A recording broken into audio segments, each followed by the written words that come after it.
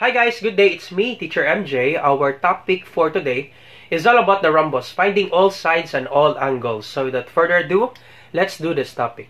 Alright, by the way class, before answering this kind of illustration, this kind of problem, you need to know first what are the properties of a rhombus. If you don't know about the properties of a rhombus, I will just leave a link on the description below with regards to the properties of a rhombus. Alright, so let's start. So let's try to find the angles first. Finding the angles first. So we have given angle LED which is 22 degrees. We have given length LO is equals to 13 and EO, diagonal EO is equals to 24. Alright, so let's find the angles first.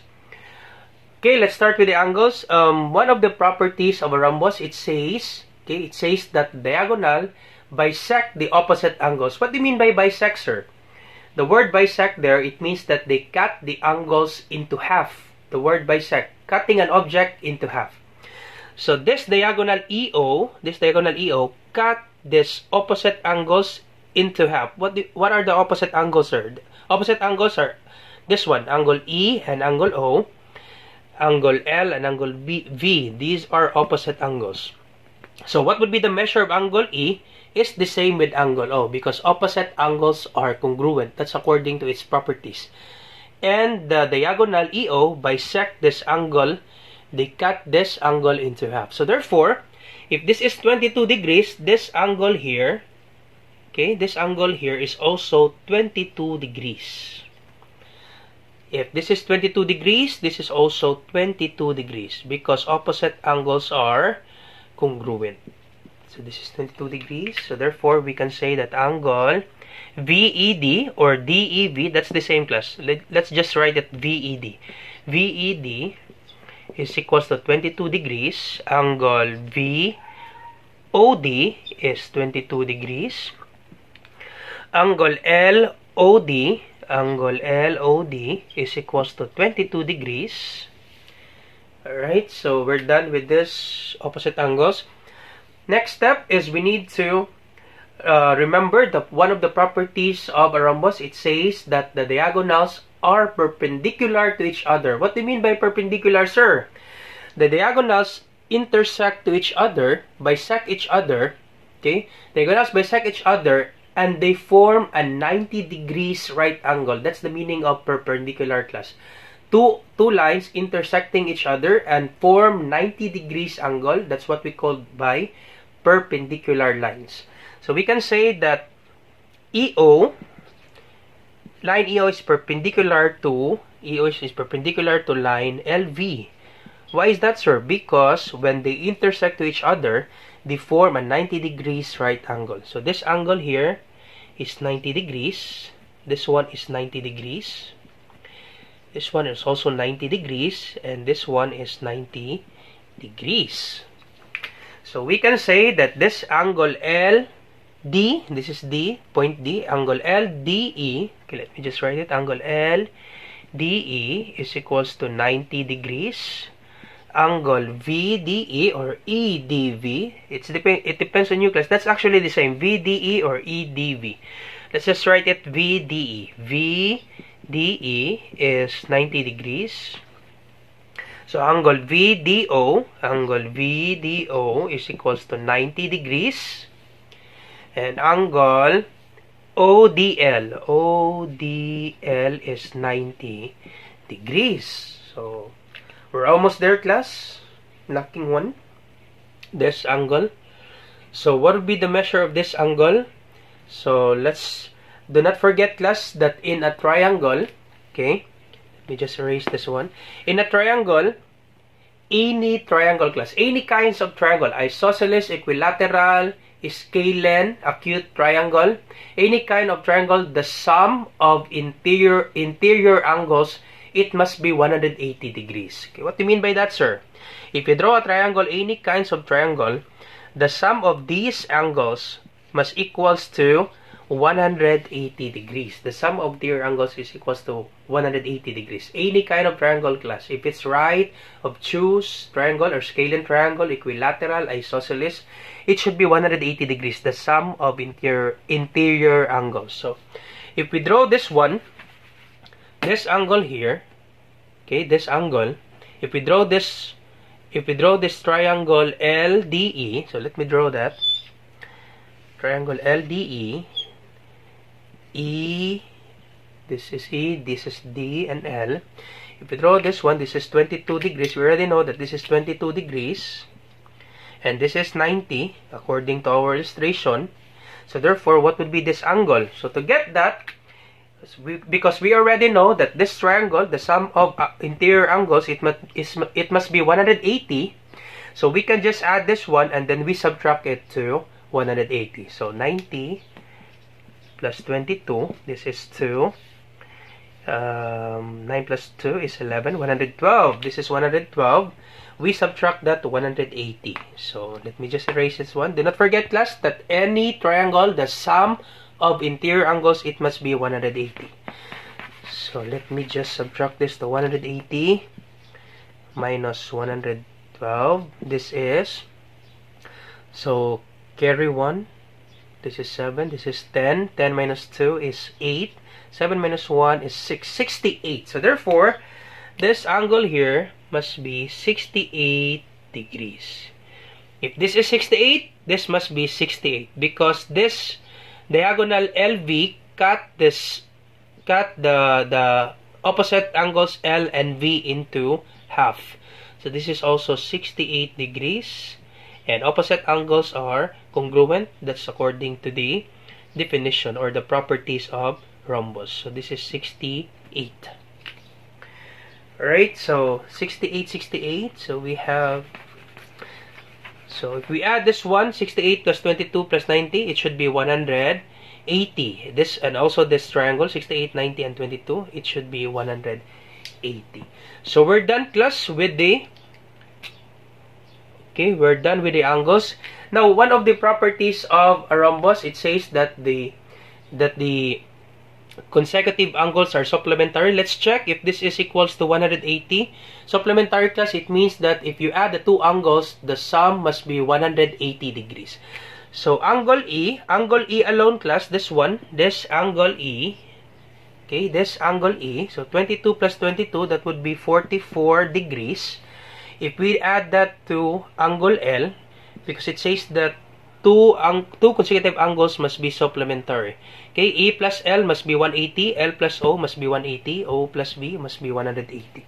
So, angle L, this one, angle L, so this is equals to 68 plus 68, 6, carry 1, 12, 13, 136.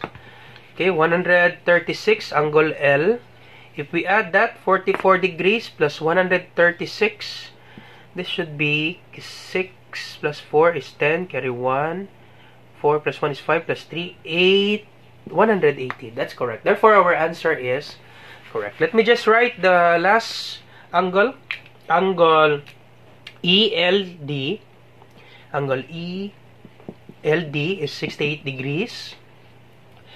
Angle OLD, angle OLD is equals to 68 degrees angle OVD, angle OVD is equals to 68 degrees, last one.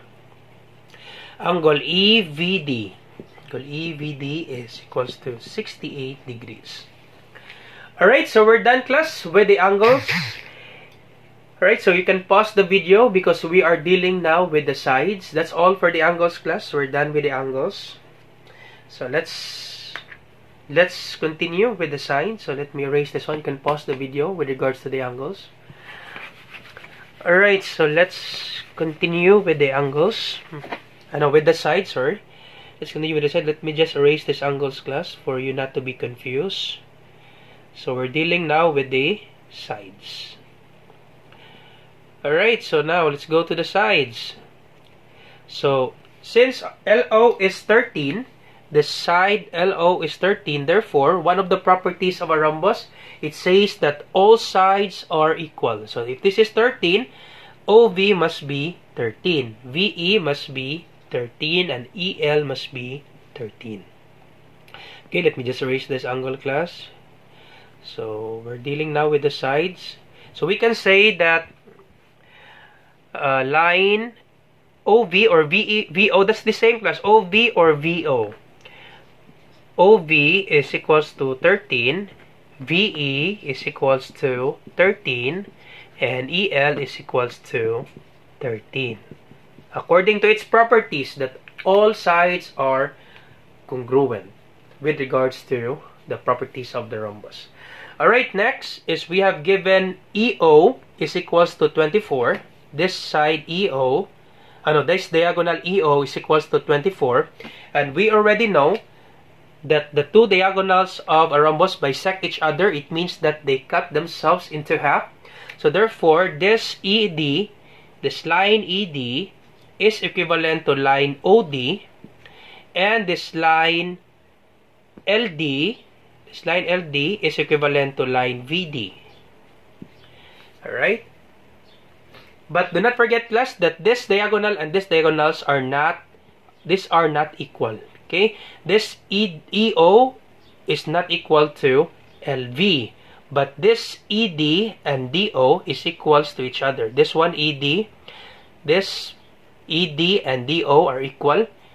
LD and DV are equal. Okay, so we have given EO is 24. Therefore, this ED is 12 and this OD is also 12. So why is that 12? Because EO is 24, they cut, okay, they, this EO, this diagonal EO is 24, and then LV cut this EO into half, bisect EO, okay, the word bisector, it means that they cut an object into half. So EO, the diagonal EO, bisect by LV, they cut this EO into half. So this is, if this is 24, EO is 24, therefore, this ED is 12 and this OD is 12. Alright, so we have 12, 12, so therefore, ED is 12 and OD is equals to 12 and EO is 24. So to find this side, this this length class, this LD, to find this LD, we can draw a triangle. We can draw this one LED. So let me draw that triangle. Okay, triangle LED. Okay, we have triangle LED, and we have the given EL, which is 13, and we have ED, which is 12, and we are told to find this one. Alright, so to find that one class, you need to use the Pythagorean theorem. Sir, where, where, when can we use Pythagorean theorem? We can use Pythagorean theorem if the triangle is a right triangle. How do you know if the triangle is a right triangle? One angle measures 90 degrees. Okay, that's the thing that you need to remember with regards to a right triangle. One angle, this angle D, measures 90 degrees. Therefore, this triangle is a right triangle. Alright, so if it, if it is a right triangle, we can use the Pythagorean theorem finding this side, this LD. So to find this one, we can use Pythagorean theorem. Let me erase this one. So we have the illustration here, class, LED. So L, LE is 13 and ED is 12. So we find this one, this this side. So to find that side, use the Pythagorean theorem. So we have, okay, let me just erase this one, class. So we have the, the formula that is c squared is equals to a squared plus b squared. And our c class always the longest side, this side. Okay, c is always the longest side. Do not forget about that. The Pythagorean theorem, c is always the hypotenuse, the longest side. So this is 13. So copy 13 squared is equals to a squared, a class, it could be interchanged. It could be here or here. So let's just put that this is our a, this one. LD. So we have A squared plus B squared. This is B. ED is 12. 12 squared. So we have 13 squared. So let me just write the triangle again. LED. This is 13. This is 12. This is the unknown. So we put this our A. The unknown. And 12 here is our B. This side. And 13 is the longest side. Alright? The hypotenuse. So 13 squared, that's 169. 13 times 13, that's 169 equals, copy a squared plus 12 times 12, that's 144. 12 times 12 is 144. So to get the value of A, just transpose this 144 from right to left and it will change the sign. Do not forget, once you transpose an equation from this equal sign, you always change the sign. Okay? So this becomes 169 minus 144 equals A squared. So 169 minus 144, let me subtract that. 169 minus 144 this is 5 2 25 right so this is 25 is equals to a squared and then extract square root both sides cancel this one so a is equals to square root of 25 that is 5 so a is equals to let me just write it like this this is 20 square root of 25 is 5 cancel square and square root so this is a so A is equals to 5. Therefore, this line LD is equals to 5. If LD is 5, therefore DV must be 5. Alright, so let me just finalize it. So we have A is equals to 5. So LD, okay, let me just write LD is 5, line LD is 5, and line VD is also 5. Therefore, this line LV, the diagonal LV is equals to 10. So that's it, class. That's how you solve for the properties of, ah, I know, that's all the, how, that's all, that's how you find the, the, the angles and the sides of the rhombus. If you like this video, do not forget to subscribe, you share it to your friends, class, and to your classmates and you have a great day. I hope you learned something new today. If you have some questions, class, please do leave a comment on the comment section below. We will be answering that one, okay? Goodbye for now. Bye-bye.